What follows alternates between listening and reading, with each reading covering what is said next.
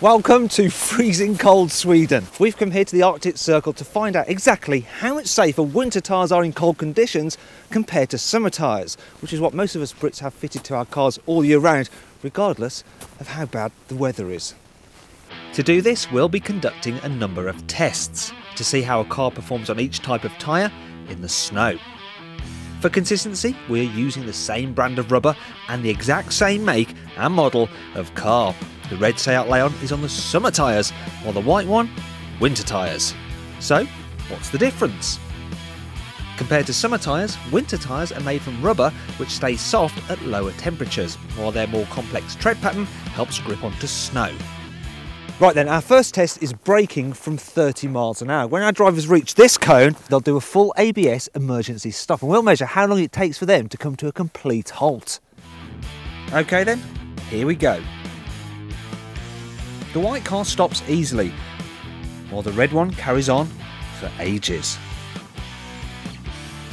The car with winter tyres on took 27 metres to stop, but the one with summer tyres, 85 metres. That's more than three times the distance. And if you think that's scary, consider this. At the point the white car had stopped, the red one was still doing 25 miles an hour. The next test is about traction to find out how easy it is to get moving on each set of tyres.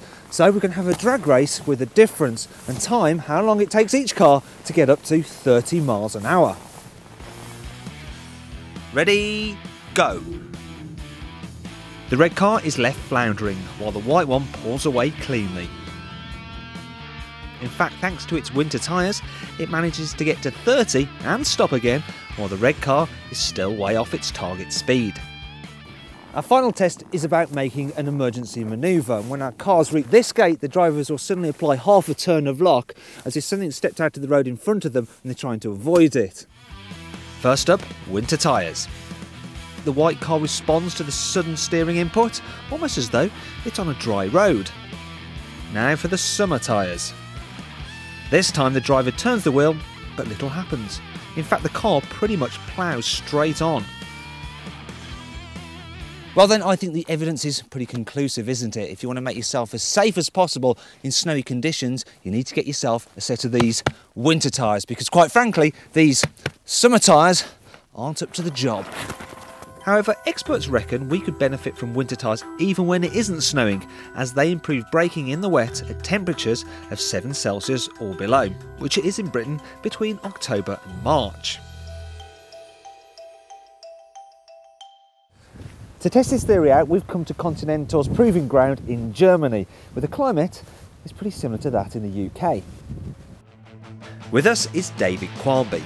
He's the chairman of the RAC Foundation and wants to see for himself whether British drivers should consider running winter tyres for half the year. So he's going to conduct an experiment for us. We're going to see how long it takes our car to brake from 50 miles an hour in the wet on first the winter tyres and then the summer tyres.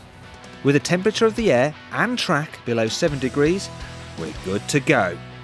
So let's start with the winter tyres. Once up to speed, David is going to hit the brakes when he reaches the cones. On winter tyres, the car stops in 35.5 metres, which is impressive. But what happens when we change the car onto summer tyres? Let's find out.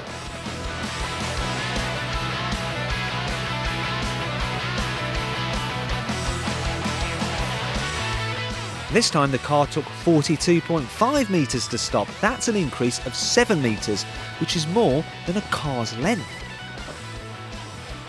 In fact, at the point the car stopped on winter tyres, on summer tyres, it was still doing 20 miles an hour. But what does the difference feel like from behind the wheel?